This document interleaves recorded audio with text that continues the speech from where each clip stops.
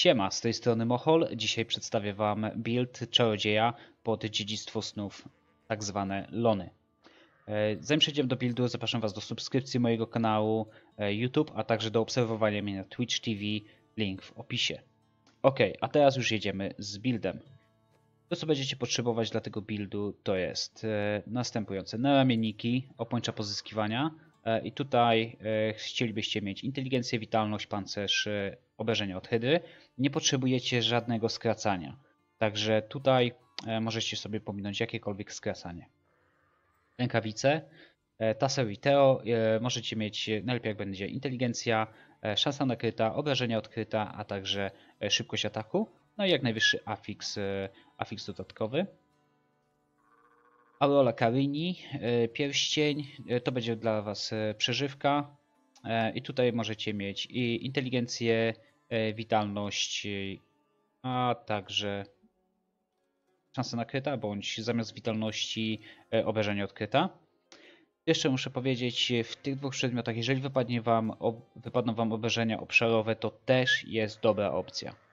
E, e, Obszarówka tutaj naprawdę bardzo dobrze się sprawuje, także tutaj też możecie losować obszarówkę. Ok, e, życzenie śmierci, wasza broń. Tutaj chcecie mieć 10% do obrażeń, inteligencję i może być attack speed albo obszarówka.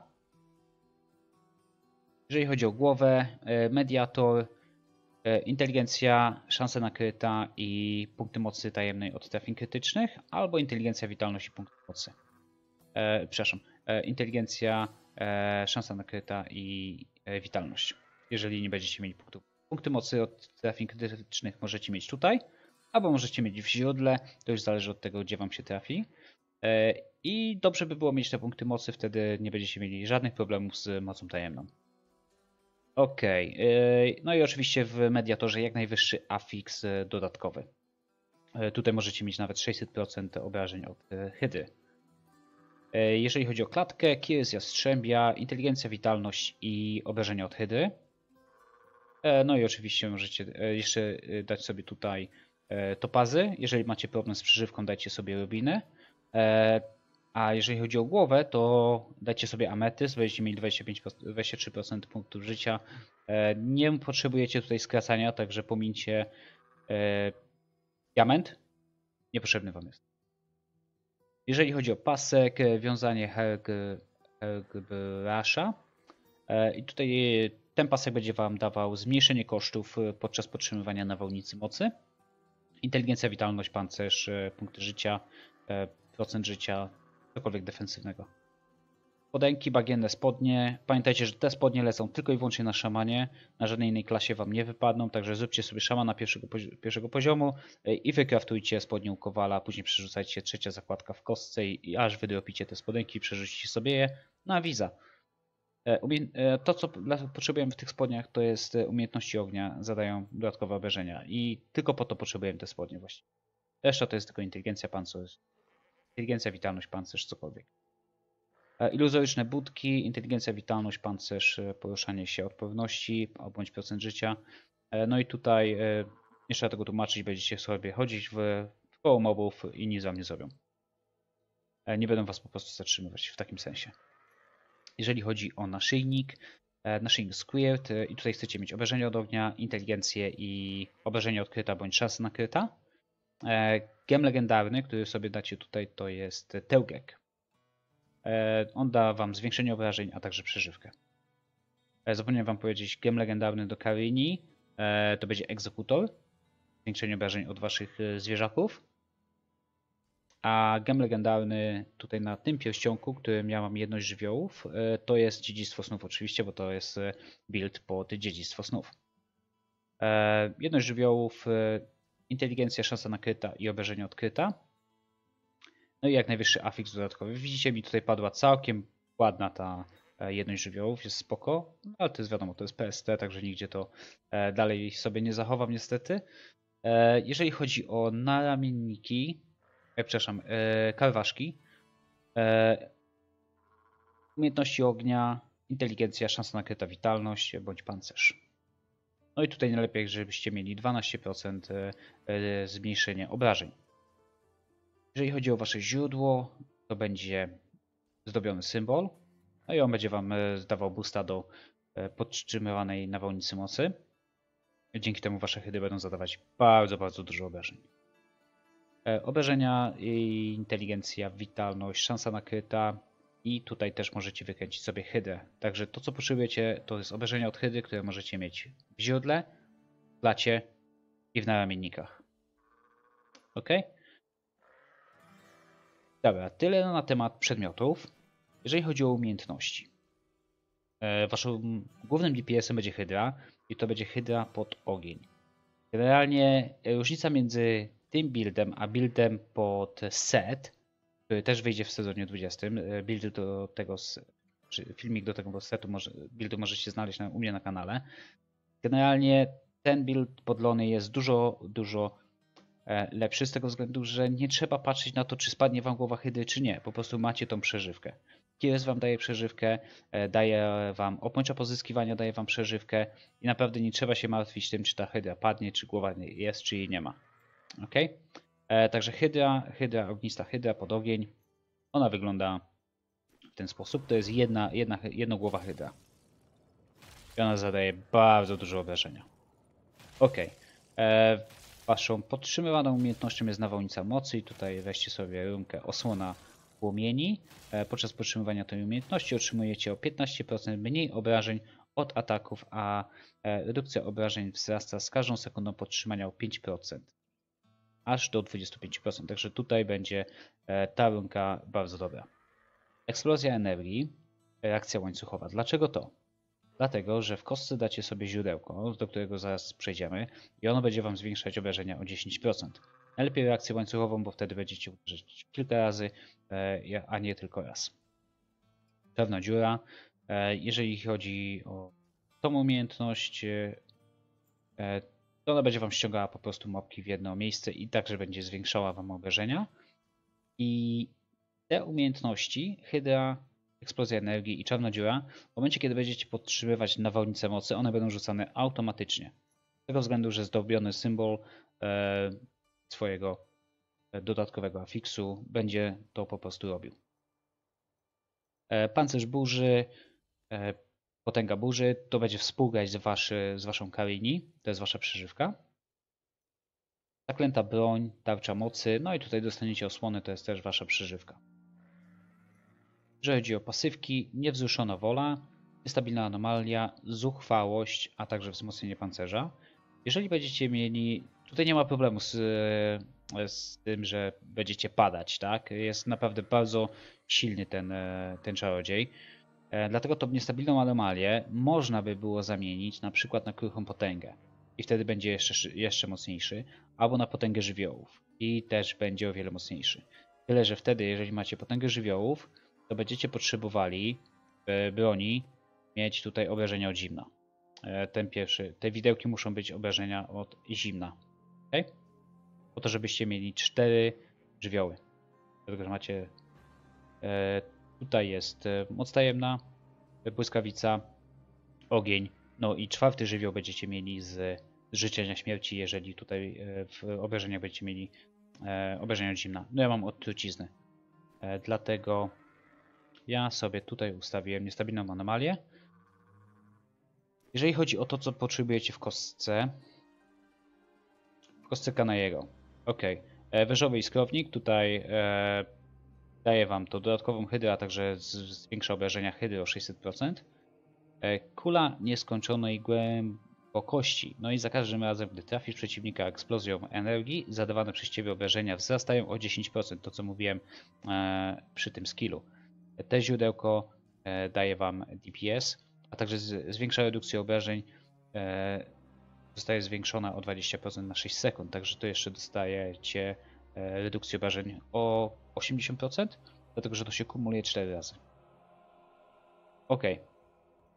Jeżeli chodzi o e, pierścionek, który tu będziecie potrzebować, to jest podsolówkę, e, to jest jedność. Jeżeli będziecie biegać w teamie, możecie zamienić to na przykład na Favor of Time, czyli smak czasu. I wtedy będziecie mogli z pylonów korzystać przez podwojony czas. No i oczywiście na swoim pomocniku też musicie mieć jedność i olśniewającą łaskę, tak aby nie mógł zginąć. Wam pokażę jak tym buildem grać. E, wezmę sobie szczelinkę. Zwróćcie uwagę, tylko teraz tak. Mam dość niewygirowany jeszcze ten, e, te, ten e, sprzęcik tutaj. Nie są role maksymalne. Gemy są na 25, tu jest 80 i 25. E, wezmę sobie szczelinkę stówkę. Przy moim paragonie niemalże 800. Pokażę wam jak to działa. E, stóweczkę sobie weźmiemy. Ok, no i to co robię? Idę sobie. Na początku trzeba tylko uważać, tak? Uruchomić pancerz, eksplozję energii i szukam sobie, szukam sobie elity. W momencie, kiedy znajdę elitę,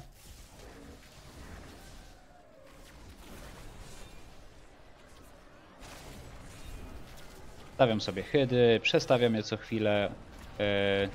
No teraz mam problem e, z podtrzymaniem tej e, mocy tajemnej i kieres mi spada, ale to jest z tego względu, że nie atakuję, tak? Tylko idę i cały czas puszczam heady.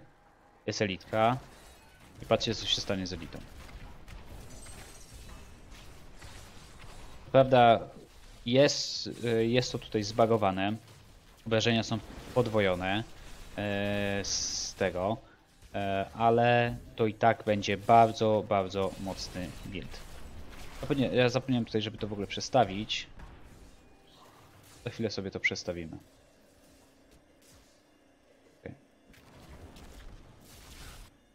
Idę do menu i zmienię to na dezintegrację.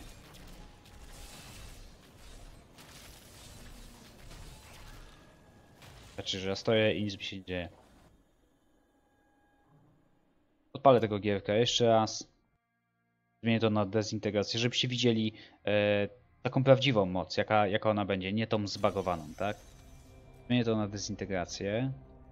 E, w tym momencie już nasze obrażenia będą obrażeniami rzeczywistymi. Takie jakie one będą w sezonie 20. Jeżeli, jeżeli Blizz oczywiście nic nie zmieni, tak? Uwaga, że stawiam sobie hydy i po prostu podtrzymuję e, swoją umiejętność. Stoję, nic mi się nie dzieje, tak? Stoję, nic mi się nie dzieje. Hydy mogę sobie zmieniać. E, Im bliżej elity postawię, tym e, lepiej, dlatego że one atakują właśnie na elitę. Na, na elitę, na moba bądź potwora, który jest najbliżej hydy. Czyli jeżeli sobie postawię tutaj, no to ona od razu zaczyna, zaczyna atakować, tak? Zwróćcie uwagę, przy 800 paragonie e, nie ma problemów żadnych z ustaniem i przemieszczamy się powoli przez, przez rifcik. Jeszcze pamiętajmy o tym, aby co chwilę podchodzić do mobów, uderzać eksplozją energii, e, aby te e, obrażenia były zwiększone o 10%. I naprawdę jest, e, build jest bardzo dobry. Nie ma żadnych problemów, jeżeli chodzi o przeżywkę. E, I będzie, będzie to na pewno grane. Wow, teraz mam problemy, bo się zagapiłem.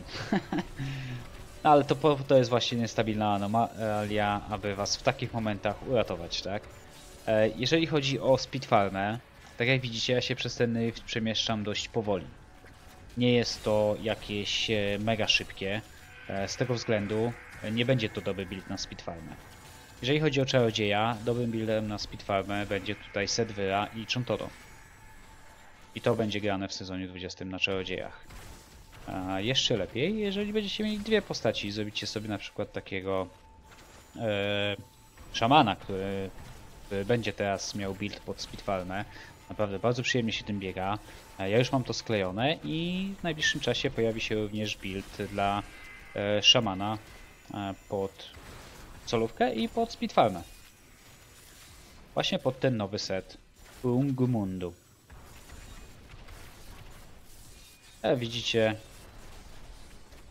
stawiam sobie wtedy jak najbliżej elity i wtedy podtrzymuję moją umiejętność. Pamiętajcie, że musicie ją podtrzymywać minimum 1 e, sekundę, aby bonus e, opończy pozyskiwania złoto, złotego symbolu, złoconego symbolu i życzenia śmierci Wam po prostu wszedł. W innym przypadku nie będzie możliwości takiej, aby ten e, DPS był taki duży. Musicie podtrzymywać tą waszą umiejętność e, przynajmniej przez jedną sekundę. Naprawdę nie ma jak najmniejszych problemów. Trzeba tylko uważać w momencie, kiedy się przechodzicie w nową lokalizację, e, tak aby włączyć hydrę, aby zacząć podtrzymywać waszą umiejętność. No i trzeba po prostu uważać troszkę, tak? Zawsze możecie sobie na przykład wziąć czarną dziurę, e, rzucić czarną dziurę na początek, ściągnąć moby i wtedy sobie ustawić hydry i nawalać, czy to dezintegracją, czy e, drugim skillem, który, który obecnie jest zbagowany, e, nawolnicą mocy, tak? Zobaczcie, stoję w samym środku i mi się po prostu nic nie dzieje, tak? Nawet mi e, squirt nie spada. Naprawdę, buildzik jest mega, mega tankowaty. Okej. Ja na chwilę obecną nie będę kończył tego, e, tego e. Jak widzicie, idzie on całkiem dobrze. Na pewno go skończę. Zapraszam Was do subs- subskrypcji kanału jeszcze raz. Na Twitchu będę testować e, kolejne buildy. Życzę Wam wszystkim miłego dnia. Zostawcie w komentarzach e, swoje ostrzeżenia na temat tego buildu e, i swoje uwagi. Jeżeli macie jakiekolwiek pytania, to zostawcie je również w komentarzach. Jeżeli film Wam się podobał, zostawcie łapkę w górę. Ja się z Wami żegnam. Dzięki bardzo. Cześć.